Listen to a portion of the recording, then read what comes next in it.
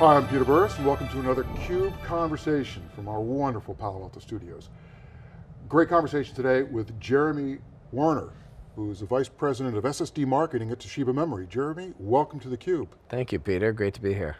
Uh, you know, Jeremy, one of the reasons why I find you being here so intriguing and interesting is there's a lot going on in the industry. We talk about new types of workloads, AI, cloud, you know, deep learning, all of these other things all of these technologies are, or all these applications and workloads are absolutely dependent on the idea that the infrastructure has to start focusing less on just persisting memory and focusing more on delivering many to these memory, or delivering uh, data to these very advanced applications.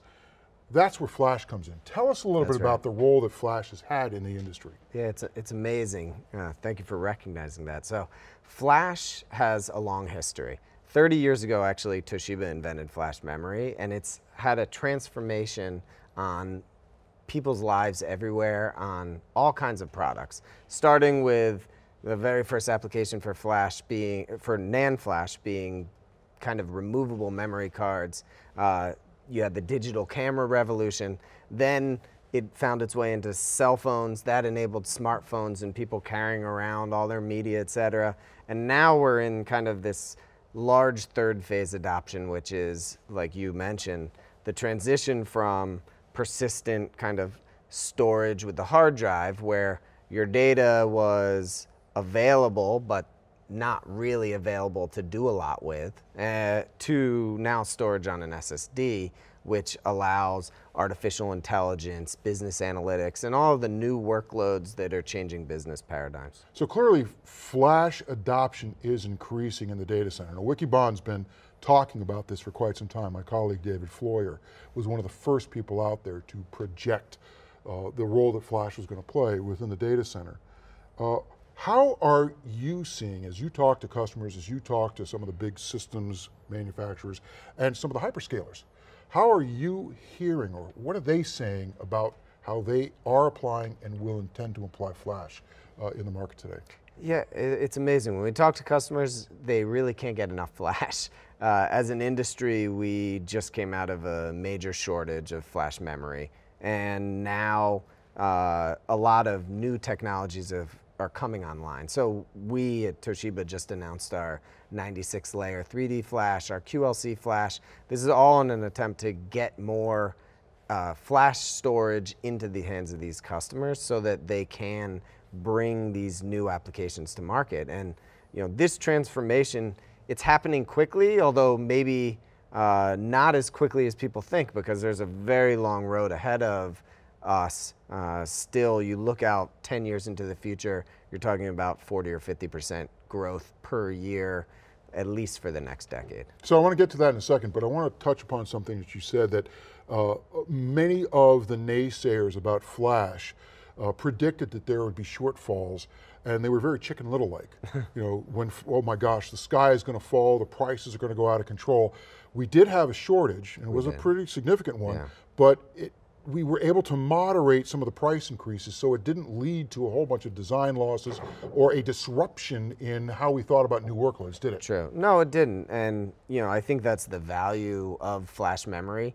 Uh, basically what we saw was the traditional significant decline in pricing uh, took a pause.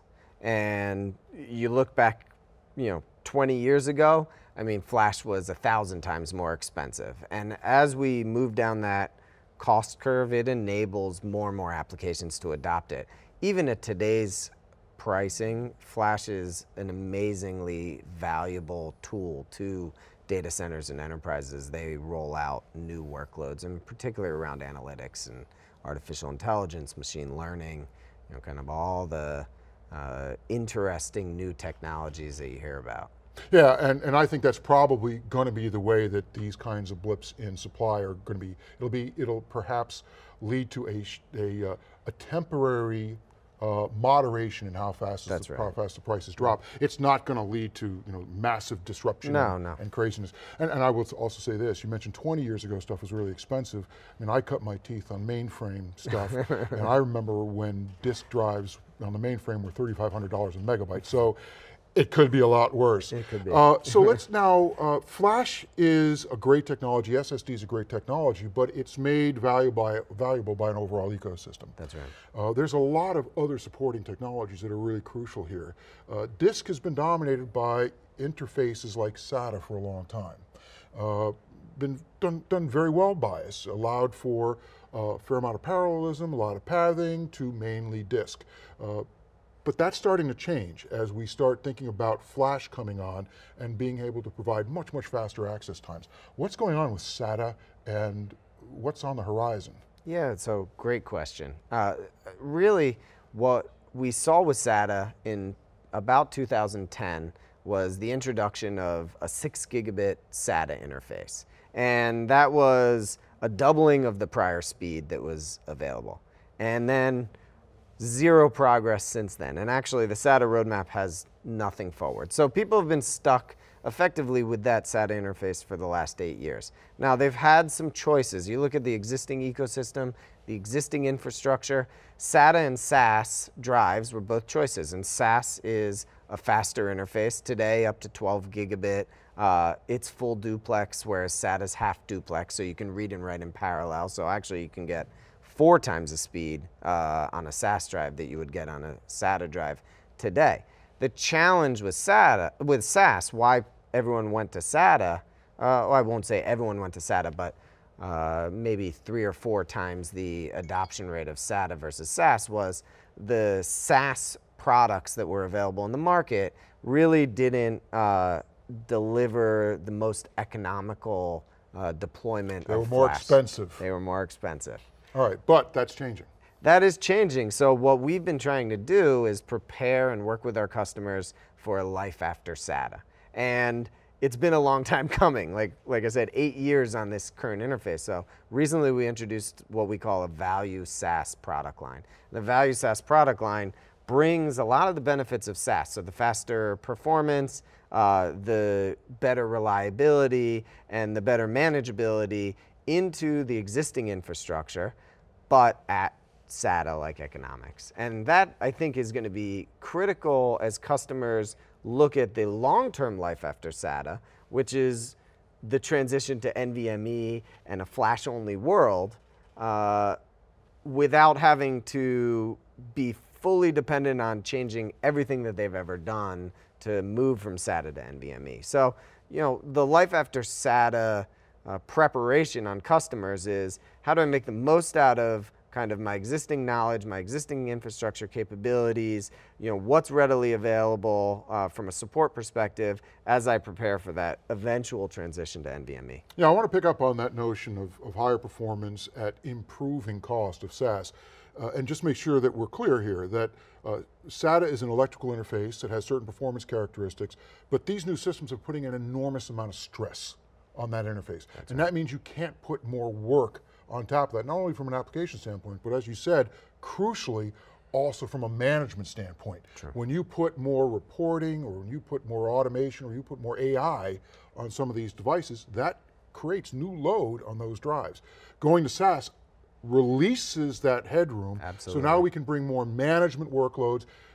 That's important, and I- this is what I want to test. That's important because as we do these more complex applications, we're pushing more work down closer to the data, and we're using a lot more data. It's going to require more automation. Is SAS going to provide the headroom that we need to actually bring new levels of reliability to more complex work? I believe it will, absolutely. Uh, SAS is the world's most trusted interface. So when it comes to reliability, you know, our SAS drives in the field are the most reliable product that uh, our customers purchase today. And we take that same uh, core technology and package it in a way to make it truly an economical replacement for SATA. So we've, at Wikibon, uh, have observed NVMe, so I want to turn a little bit of attention Sure. to that. We've observed that NVMe is in fact going to have a significant impact. Yes. Uh, but when you, when Toshiba Memory is looking at what, what kinds of things customers are looking for, you're saying not so much SATA, let's focus on SAS, and let's bring NVMe online as the system designs are there. Is that kind of You know, I think it it's out? it's a complicated situation. Um, not everyone's ready for everything at the same time. Even today, there's some major uh, cloud providers that have just about fully transitioned to NVMe SSDs. Uh, and that transition has been challenging. Um, so what we see is customers over the course of the next four or five years, uh, their readiness for that transition from today to five years from now, uh, that's happening based on the complexity of what they need to manage from a physical infrastructure and software ecosystem perspective. Um, so some customers have already migrated and other customers are years away. And that is really what we're trying to help customers with. We have a very broad NVMe offering. Actually, we have more NVMe SSDs than any other product line.